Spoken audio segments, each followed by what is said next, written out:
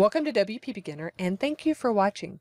In today's video, you'll learn how to add Facebook style autocomplete for WordPress posts. If you like the autocomplete and mentions functionality that you have in Facebook, you can get that for your site as well. Just install and activate the Mentionable plugin, then go to Settings, Mentionable to Configure. You can activate it for posts, pages, and media, and you can choose which to autocomplete from. You can do it for custom post types if you have them as well. Now that we have installed it, I'll go create a new post and start using it.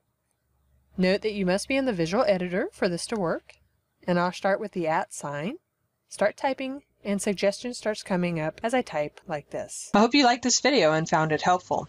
If you did, click on the like button below and leave us a comment. And if you want to receive more helpful videos, don't forget to subscribe to our channel and check out WPBeginner.com for more useful information on WordPress.